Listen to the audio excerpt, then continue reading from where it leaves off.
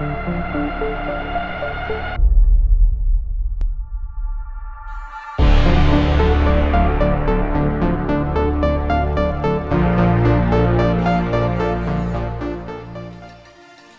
pessoal, tudo bom com vocês? Eu sou o Hernani bem-vindos ao canal Old Gamers.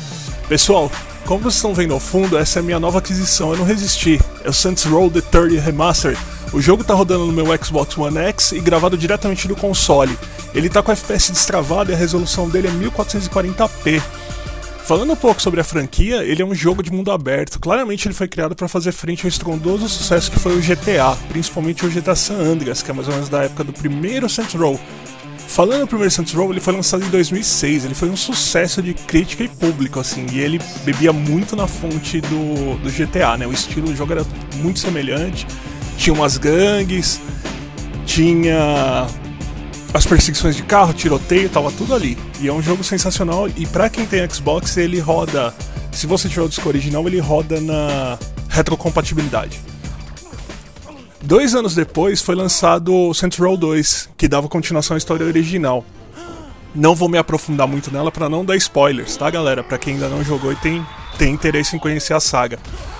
Também foi um sucesso de crítica e vendas, mas sempre sendo uma considerada uma cópia de GTA. E eu acho que talvez por esse motivo a galera da, que desenvolveu o jogo começou a fazer pequenas alterações assim, levando para um lado mais sarcástico, mais de humor, de zoeira você começa a perceber melhor isso nessa, nesse jogo que eu vou falar agora, que aliás está rolando ao fundo, que foi três anos depois, que em 2011 foi lançado o Saints Row The 30, a primeira versão dele para 360, PC, PlayStation 4.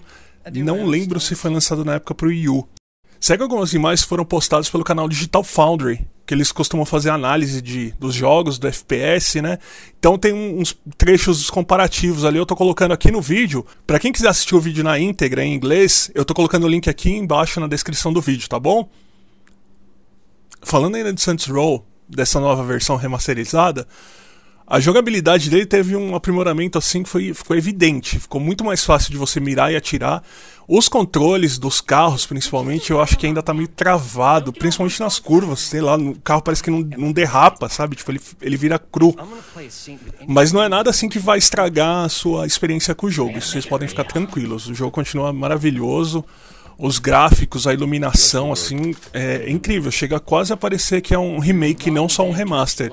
Normalmente remaster eles só aumentam a resolução, né? Mas neste caso não. As, as mudanças foram bem mais profundas.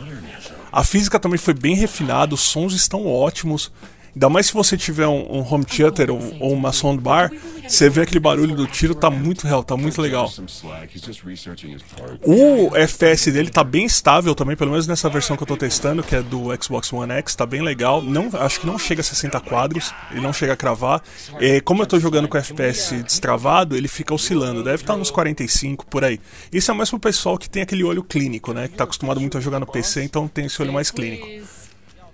E caso vocês tenham interesse em se aprofundar na franquia, na história, na análise da franquia, eu recomendo o vídeo do, do Zangado, do canal do Zangado. Ficou simplesmente sensacional. Eu acho que não tem por que eu refazer uma análise do jogo, porque tipo, eu concordo praticamente tudo que ele falou naquele vídeo. Ficou muito bom.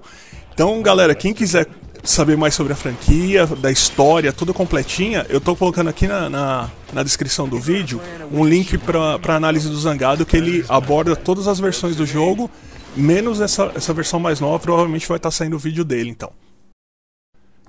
Pessoal, falando dos preços também, ele foi lançado na live brasileira por R$ 77,45. Eu confesso que eu não sei se esse preço está certo, porque na live americana ele está custando 40 dólares, né? R$ 39,99. Normalmente ele chegaria aqui por uns 150, 170, devido a esse dólar maluco que a gente está encarando hoje. E na PSN, aí ele já está com um valor mais semelhante ao que eu, que eu citei. Ele está custando R$ 164,90. Então a galera que tem Xbox, tiver afim mesmo de pegar o jogo, acho que é essa hora, porque provavelmente esse preço vai ser corrigido posteriormente. Não sei se quando vocês verem esse vídeo o preço já mudou. Mas pelo valor e pelo jogo que é, é muito bom, galera. Eu recomendo. Tá bom? Enquanto isso, fiquem com o gameplay dessa versão remasterizada. Se vocês curtiram o conteúdo e não é inscrito, galera, se inscreve no canal. Se achar que o vídeo valeu a pena, deixa um like. Assiste os outros vídeos do canal, beleza? E quero a opinião de vocês aí embaixo. O que, que vocês acharam do jogo? Vocês gostam, não gostam? Gostam desse estilo? Não? É isso aí, pessoal. Grande abraço, Old Gamers.